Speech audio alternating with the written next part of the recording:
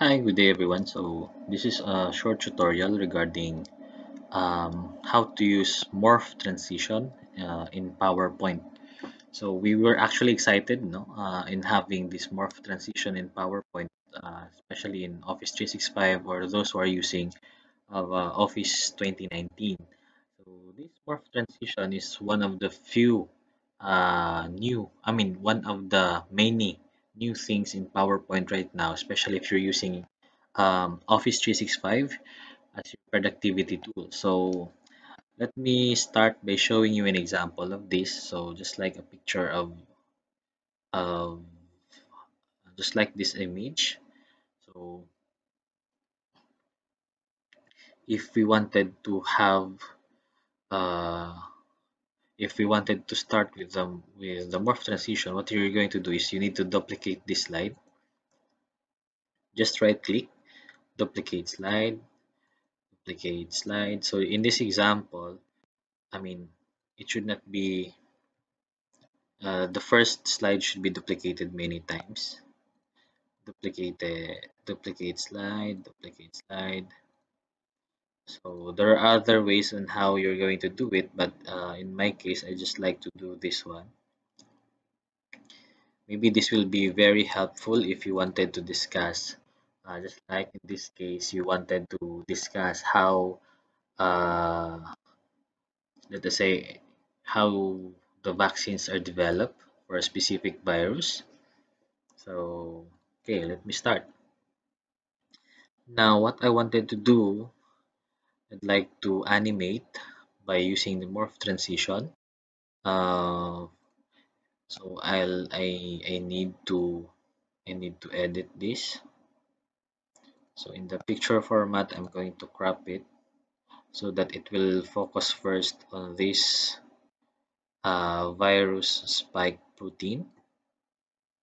And I'll change the aspect ratio to 16.16 is to 9 because that's the aspect ratio uh, for PowerPoint presentations. Okay and then I'll just click crop and from the extreme upper corner I'll just enlarge this up to this side here. Okay.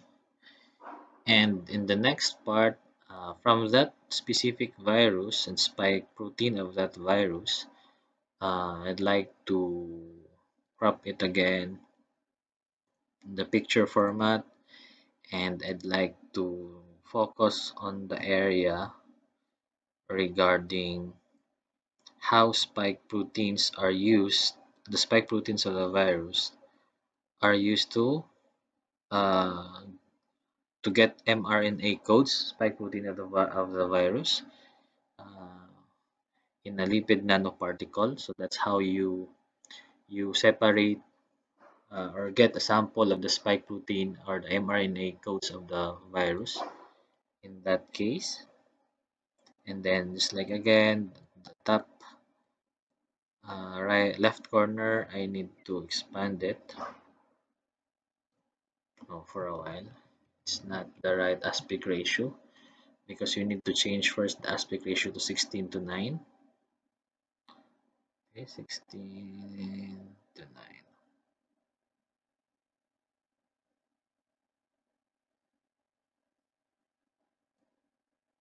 Or if I wanted to include this, I need to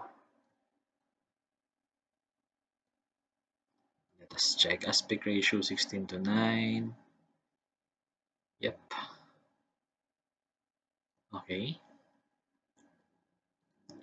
Then I'll crop it.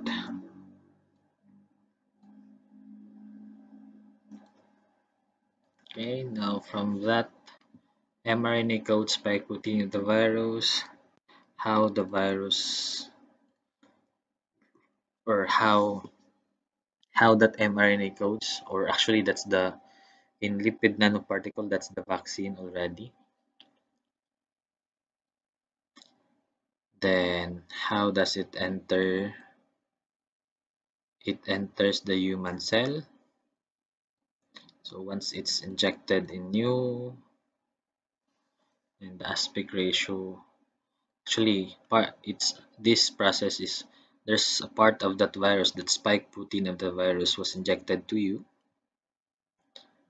And don't worry it's not the virus itself but it was just only part of the virus was injected to you. It's the mRNA. And then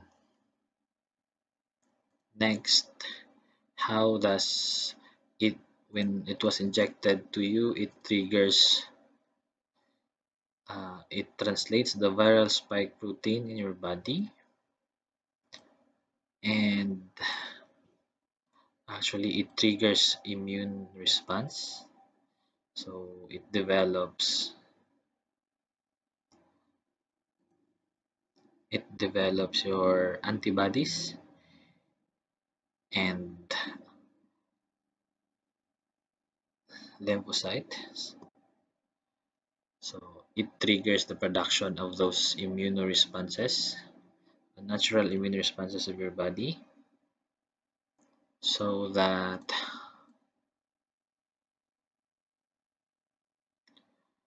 once you are uh, exposed to another to the real virus they will now know uh, with the help of the T cells and other immune response they will now know and will be able to to fight the spike proteins of that virus. And that without the spike proteins the the, vir the, the virus as you know it will be not that effective uh, in creating infections in your body. But I'm just leave it to the expert now so I'm just showing you how to morph it and maybe how you'll be able to this use it in the discussions. Then in the transitions from none just select or I'd like to see I'd like you to see first what what does it look like if you have this none option here in a slideshow it looks like this. So then and then you're going to do that and that and these things and these things and that thing. But uh, how does it differ if you have these morph transitions uh, in your presentation? Okay now let us see. Like this. So from that huge I mean infographics or huge picture when you click the next slide it will do that. And when you click the, the next slide again it will go to the next picture. And the next slide like this. And the next slide like this. And back to the original picture. Because in morph transitions uh, the AI in PowerPoint Office 365 or in Office 2019 will be able to detect that it's just part of the bigger picture or those are just parts of the bigger picture and will give you a smooth uh, morph effect in your transitions. Okay so we have another uh, sample here. Like for example in the solar system we also did uh, apply morph transitions here so if we click slideshow it's like this and we again we have applied morph transitions if you're discussing about the solar system. So that's the whole solar system in in in one screen and then if you want to focus on this part and then later after focus on the another part and this part again this part that and go back to the big picture. Okay? Now these are just example of how could you possibly uh, make use of morph transition.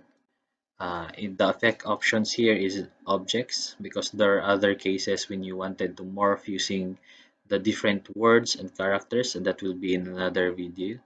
Or you may uh, explore it on your own. So I'm just giving you some sneak peek of of the possibilities of how beautiful it is to use these morph transitions in your PowerPoint presentations. So again, thank you so much and good day everyone.